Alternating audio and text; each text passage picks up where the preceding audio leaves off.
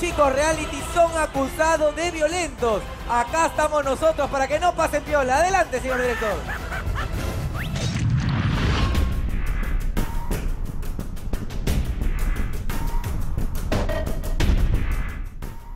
Lamentablemente, muy lejos de ser un ejemplo para sus seguidores, la lista de chicos reality denunciados por supuestamente haber ejercido violencia sobre sus parejas crece como la espuma.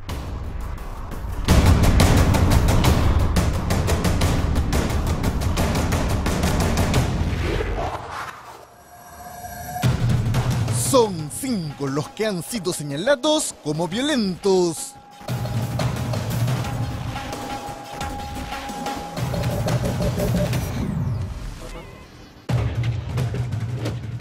Sin embargo, no todos han corrido la misma suerte. Unos audios reveladores de Anger y Saga pusieron al descubierto los supuestos maltratos a los que la sometía Canticola. Me golpeó horrible. Te golpeó horrible. Sí, o sea, me asfixió, me empujó, me de las piernas, me rompió la ropa, no dejaba que me iba. Me decía, lárgate. No me salía golpes, rompiendo todo, empujando, rompiendo más. Y me aseguré que me iban a pedir disculpas, me iba a hacer algo. Ay, bueno, y no sé qué hacer. Me siento, me siento engañada. Estos audios indignaron a millones de peruanos. Sin embargo, los productores alcahuetes solo montaron un show para separarlo de sus filas y luego la lavandería vecina se encargó de limpiarlo y en un 2x3 volvió como si nada hubiera pasado.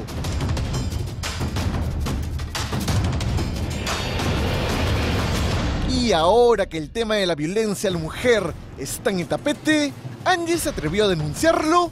No, nada de eso. Al contrario, la negrita lo protegió. Que se ha puesto mucho e- el tema del maltrato contra la mujer. ¿Qué opinas acerca de ese tema?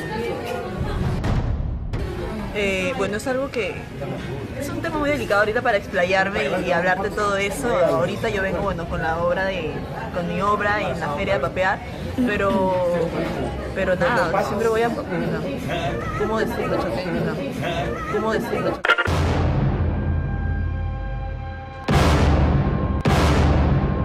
Bien dicen que las apariencias engañan.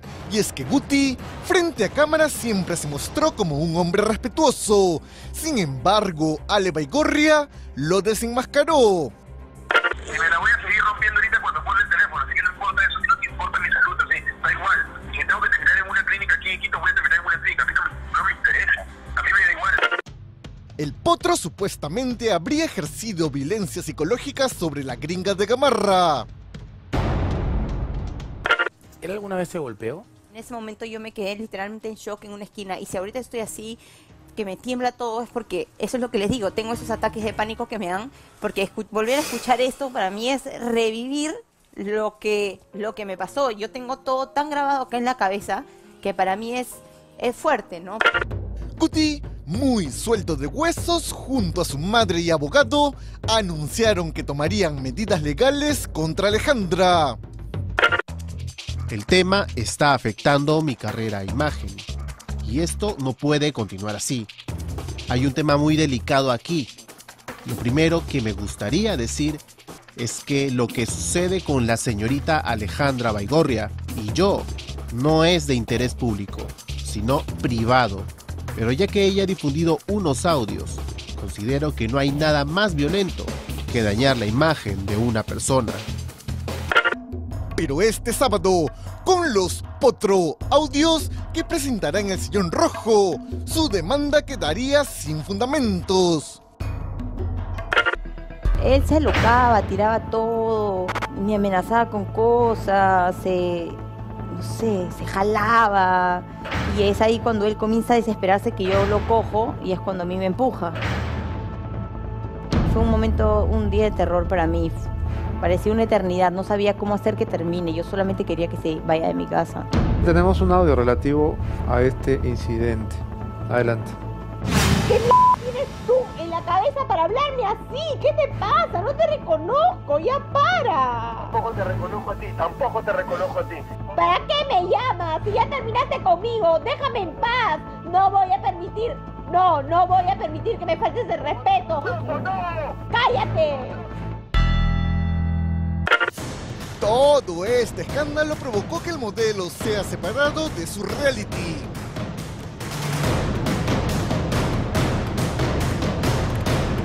Al parecer nos estaría midiendo a todos con la misma vara. Y es que la Blanca de Chucuito también denunció supuestas agresiones por parte del Diablito. ¿Te ahorcó Diego Chavarri? Sí. Una de esas que yo no me quiero, yo me estoy yendo, él me agarra del cuello Él y se nos agarra, caemos. y los dos se caen al Ah, piso, nos- se cayeron al piso los nos dos. caímos al piso Sí. y entonces el Dios se me, me- mi hermano, perdón, me recoge, me dice, vámonos.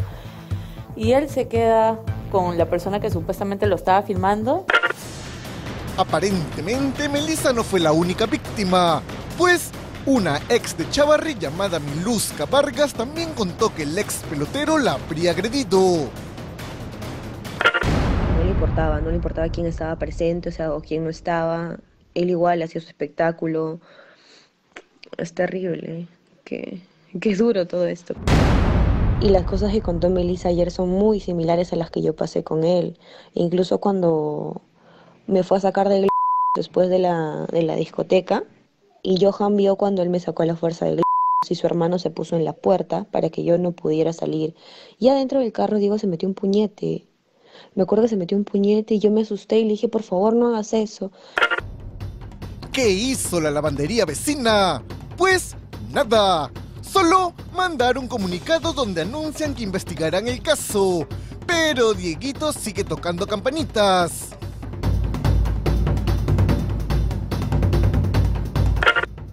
Y ayer la propia Shirley Arica, ex saliente de Chavarri, confirmó que en una ocasión le arrojó una cubeta de hielo. Estábamos casi todo el día juntos, ¿no? En la tarde y en la noche nos encontrábamos supuestamente en esta discoteca. Pero cada quien llegó por su lado. Y cuando yo llegué a la discoteca, él estaba con otra chica. Y estaba en besos. Me quedé helada y obviamente fui a reclamarle. Y él como que... ¿No? O sea, como que, ¿qué me reclamas? ¿No? Y este, comenzamos a discutir y cuando yo me, me estaba yendo, no me acuerdo exactamente cómo fue, y me tiró, me tiró la hielera. Me tiró, me tiró la hielera. Al final terminé llorando, me fui con mis amigas al baño. ¿Dónde te y cayó él la hielera? me cayó acá, como por la cara. Sí, en la cara.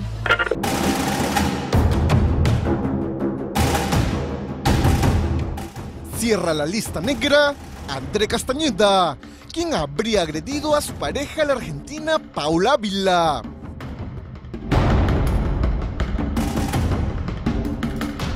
Ustedes tienen la pelea mía, pero no tienen cuando él me jala el pelo, ¿no? Me da pena porque él tiene un hijo, boludo, entonces yo me siento mal por eso. Él va a salir en Bienvenida a la tarde a pedir perdón y, va a hablar del tema, obviamente. Me iba hablando con Nicola y, y no lo puedo controlar y encima veníamos medios peleados nosotros hace como dos días y me vio hablando con él y bueno, le agarró un, olvídate, un ataque. A diferencia de la lavandería vecina, cuando sucedió este escándalo, nuestro canal decidió separar de sus filas al supuesto agresor. Lo que sí tengo que decir al público es que la producción tomó la decisión de que no puede seguir más en Bienvenida a la Tarde, André. Pero como la sarna con gusto no pica, Poli regresó con el chato y se unió al club de las incondicionales.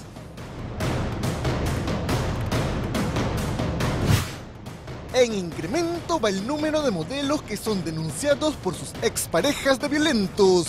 Un dato curioso de esta lista es que cuatro de los cinco chicos pertenecen o pertenecieron al mismo reality de educación física.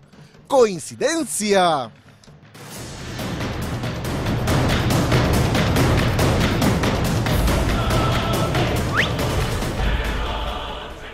Las imágenes no necesitan que nosotros agreguemos, sumemos, restemos nada. Ahí están, son claras. Los hechos, lo que ellos mismos han contado, lo que ellos mismos han revelado, el perfil que han mantenido, lo que cada vez que aparecían en pantalla querían reflejar y lo que querían tapar también. Ahí están los verdaderos agresores, dicho por la boca de las propias víctimas que hoy, en muchos de los casos, avalan, defienden y tapan al victimario. Y ese es un ejemplo realmente de que caras vemos, corazones no sabemos, el que tiene cara de buenito al final es un desgraciado. Porque No, de la verdad cara uno no te nunca dice sabe nada. lo de nadie. Y no solamente eso pasa en el mundo de la televisión, porque obviamente como son famosos, sale a la luz.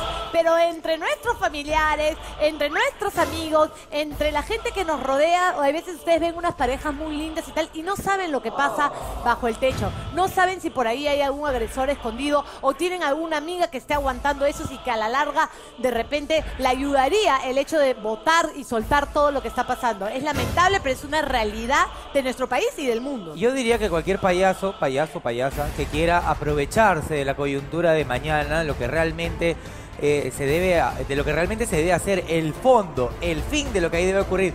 No ir para hacer distracción mediática o para promocionarse o para tratar de reivindicar el circo que ellos mismos han armado, han lucrado. Porque por cada aparición que ellos tienen en pantalla, cobran. Un banner, un auspiciador, una marca, un empresario, Un una discoteca, un spa. Para decir que te pegaron y para decir que en realidad no te, no te pegaron. Para decir que te agredieron y para decir que en realidad no dijeron lo que quisieron decir. Para decir que era un momento de tensión y luego contarte a ti, a tu hija, a tu hijo, a los que ven esos programas, que en realidad eso no es una agresión. Que los agresores son los que ponemos, los que decimos lo que pensamos acerca del perfil que ellos han sido los artífices y propios protagonistas de su historia. Entonces, ¿qué quiere decir? Que el mundo está de cabeza. Como todo esto, son empresas, como todo esto, son emporios que se manejan, medios que dominan la situación, están queriendo vender gato por liebre. Claro, no hay, no hay medio más libre que las redes sociales y son ahí donde realmente se dan cuenta que la gente no les cree más. Pero bueno. Daniela, bienvenida, gracias por estar aquí Hola,